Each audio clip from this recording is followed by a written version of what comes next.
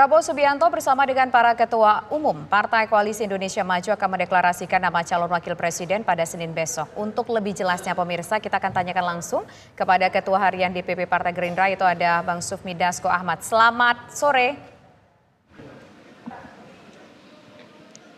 Selamat sore.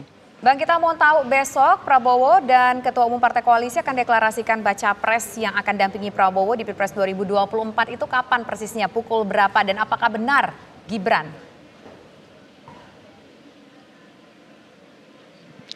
Jadi begini, bahwa dalam pertemuan pertama ketua-ketua umum partai politik itu sudah melakukan pembicaraan-pembicaraan dan sudah dalam tahap uh, memberikan nama kepada Pak Prabowo dan nama-nama itu kemudian yang malam nanti akan disampaikan oleh Pak Prabowo dan tentunya yang akan dideklarasikan pada besok hari.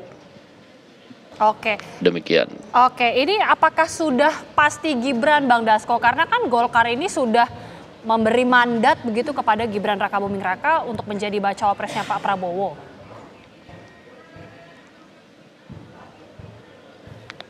Ya kalau dilihat dari hasil uh, coba dicek di media-media online kemarin, itu hampir seluruh Partai Koalisi Indonesia Maju sudah melakukan konferensi pers hmm. dan menyatakan akan membawa nama Mas Gibran dalam pertemuan forum Ketua Umum Partai malam ini. Demikian. Mhm. Nah, kemudian ini kan artinya sudah mungkin kemungkinan ya saat ini yang kita tangkap bisa dikatakan mungkin 90% atau mungkin lebih dari 90% besok akan diumumkan Gibran. Meskipun kita masih bertanya-tanya ini mungkin ada hal-hal lain yang bisa saja mungkin terjadi. Uh, sebetulnya apa yang diharapkan dengan sosok Gibran ini kalau nanti mendampingi Pak Prabowo? Ya tentunya pertimbangan-pertimbangan itu uh, adalah ketum-ketum partai yang kemudian sudah mempertimbangkan, membicarakan dan kemudian memberikan nama kepada Pak Prabowo. Uh, untuk uh, apa yang diharapkan dan lain-lain sebagainya tentunya sudah dibahas dengan matang dan kita akan lihat besok tentunya dalam deklarasi semua akan disampaikan dan akan lebih pas kalau nanti pemirsa akan mendengar dalam alasan-alasan ini dalam deklarasi besok. Oke. Begitu Mbak Tia. Iya, uh, Bang Dasko ini kan PDIP telah menetapkan Gibran sebagai salah satu juru kampanye nasional, bahkan juru bicara pasangan Ganjar Mahfud untuk wilayah Solo, Bang. Respon Gerindra bagaimana sejauh ini? Ya, dalam hal ini saya tidak mau berkomentar lebih jauh. Mekanisme di partai masing-masing uh, itu ada mekanismenya dan mengenai hal itu uh, ia nanti tentu akan uh, mengikuti proses-proses yang ada mari kita kemudian nanti uh, ikuti bagaimana karena uh, mekanismenya masing-masing tidak sama demikian. Uh, kalau untuk besok, ini kira-kira pukul berapa Bang akan diumumkan dan siapa saja yang akan hadir? Apakah hanya ketua koalisi saja atau mungkin jangan-jangan ada Pak Jokowi juga?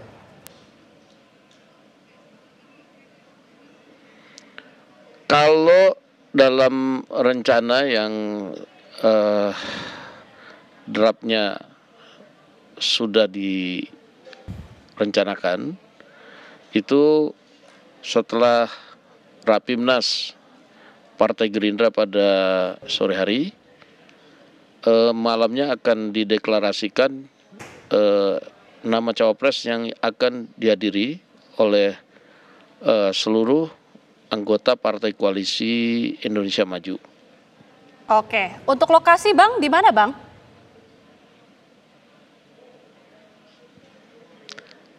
Ini karena banyak sekali relawan-relawan yang dari kemarin menanyakan soal deklarasi dan karena ini diadakan pada malam hari untuk menjaga ketertiban dan lain-lain untuk sementara lokasi deklarasi baru akan kita uh, sampaikan pada besok hari. Uh, ini kan kita juga tahu bahwa Gibran pergi ke Cikeas. Kemudian malam hari ini tadi Abang mengatakan akan ada pertemuan antara koalisi begitu. apa yang akan dibahas? Apakah hanya berbicara soal pematangan besok satu nama Gibran saja atau mungkin ada hal-hal lain yang akan dibicarakan? Dan kalau bicara soal ke Cikeas itu ngapain Bang? Meskipun itu pergi ke uh, Demokrat, tapi mungkin Abang mendapatkan bocorannya?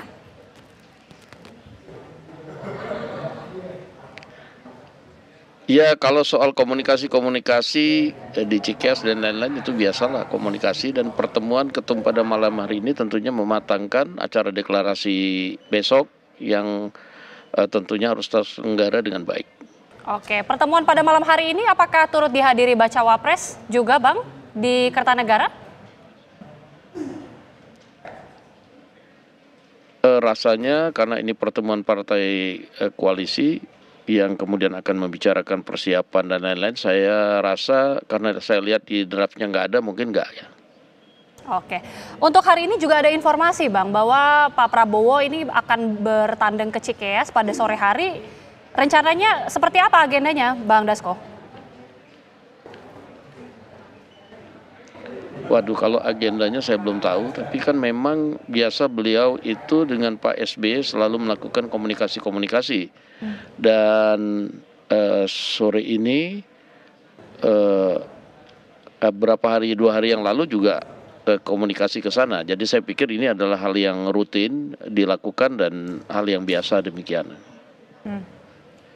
Kalau sudah deklarasi besok nih, daftar ke KPU-nya kapan?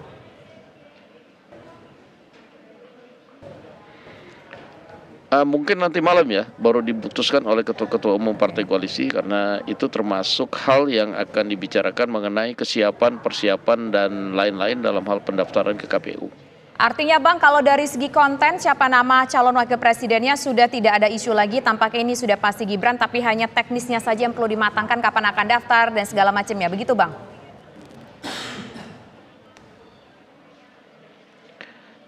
Ya kira-kira keputusan tetap akan diambil oleh ketua umum partai koalisi walaupun masing-masing partai itu sebagian besar sudah uh, menyatakan akan membawa satu nama ini ke forum ketua-ketua umum partai tapi tentunya secara resmi harus diputuskan oleh ketua-ketua umum partai koalisi uh, pada malam nanti demikian. Baik, kita akan nantikan bagaimana pertemuan pada malam hari nanti dan juga tentunya deklarasi besok. Terima kasih Bang Sufmi Dasko sudah bergabung bersama kami di Kabar Petang. Sehat selalu. Terima kasih.